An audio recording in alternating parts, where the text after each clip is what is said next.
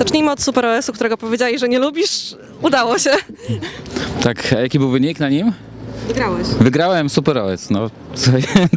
Nowa, nowa era w moim życiu. E, Pojechałem jak ciota i wygrałem. To jest, to są dopiero jaja. Może tak trzeba. Może tak trzeba, może to jest jakaś nauczka. Nie wiem, mm, no cieszę się.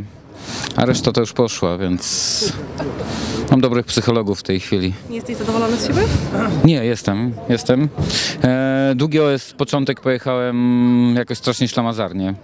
Na szczęście się zmobilizowałem gdzieś w jednej trzeciej, po jednej trzeciej i docisnąłem i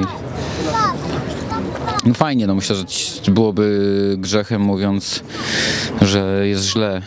Stres puścił od rana, więc cieszę się.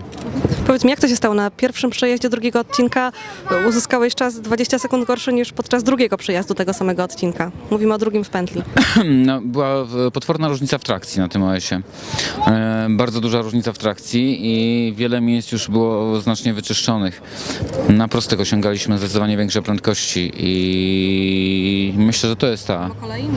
E, mimo, mimo kolejn jednak e, te samochody, które przejechały doczłapały się do tego twardego i, i zbrały się z trakcji.